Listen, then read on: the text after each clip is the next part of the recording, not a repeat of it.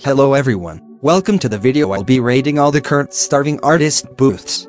Sorry that I'm using a text-to-speech bot, but I'll show my voice at 10k subscribers. Now let's begin. Pretty sure this is the beach booth. It's not the best, so goes on low B tier. Blossom booth is okay but better than beach solo tier.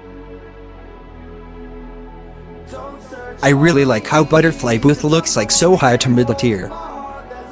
Candyland Booth is okay it got old fast. Best Booth. I'm kidding it's low C tier. Circus Booth is okay, but is mid B tier. Clock Tower Booth is high B tier.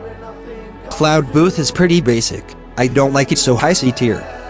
Cyber Booth is okay definitely needs an update. Low B tier. I really like DJ Booth from its origin. High tier. Diamond Booth is meh, I think it needs more improvement. Mid B tier. Floating Booth is really distracting, low B tier.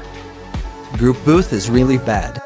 First D tier, Easter Booth was okay to use for a week. Mid C tier. Food Truck Booth doesn't look good or bad, so mid B tier. Futuristic is pretty good, mid tier. I'ma save the best for last. Galaxy Booth is okay mid B tier. Golden Egg Booth is basically Easter Booth but gold. Modern House Booth is really good and has great detail. Pirate Booth just tried too hard to look good. High B tier. Royal Booth doesn't look royal, low B tier. Shrine Booth is a really good looking booth. First S tier. Sliver is just like group but grey. I like how Snowy looks like and is very original.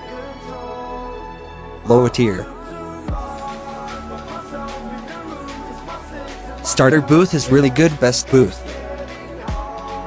Kidding it's just like the others, Twitter booth is still a really good booth to this day. High B tier.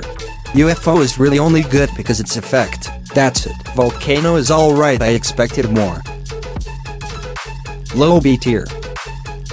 Wild West booth is basically the same problem like food truck. High B tier. Art contest booth is really rare, really good looking, and very valuable. This earns its own spot. It gets the best spot. Thanks for watching, and like and subscribe. Have a great day.